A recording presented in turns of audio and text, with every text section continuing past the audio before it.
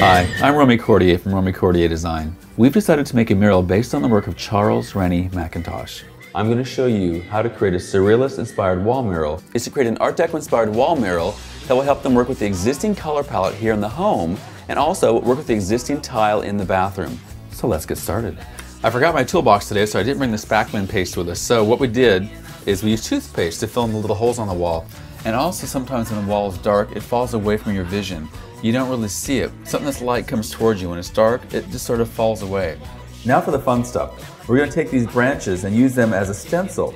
Architects were inspired by the ziggurat, which is a stair-stepped pyramid.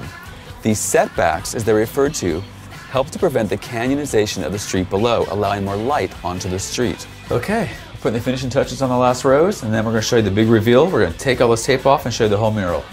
Paint, towels, drapes, a new vase, some flowers.